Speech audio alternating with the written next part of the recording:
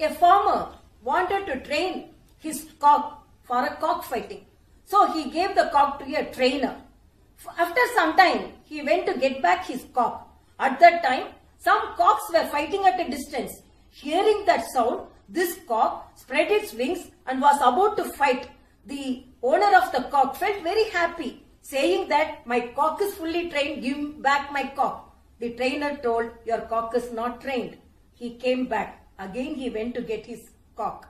At that time, some cocks were fighting in front of the cock. This cock, spreading its wings, was about to fight. The owner of the cock felt very happy, saying the trainer, my cock is ready, give back my cock. The trainer told, your cock is not ready. After some time, he went to get back his cock. At that time, some cocks were fighting at the distance.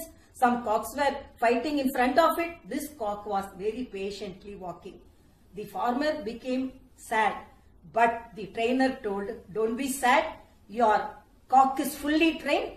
So it has gained confidence so that it can face any situation. So it is very calm and quiet. Now you can take back your cock. Like this, if we gain experience and if you are trained adequately, you will get the confidence to face any situation and can be successful.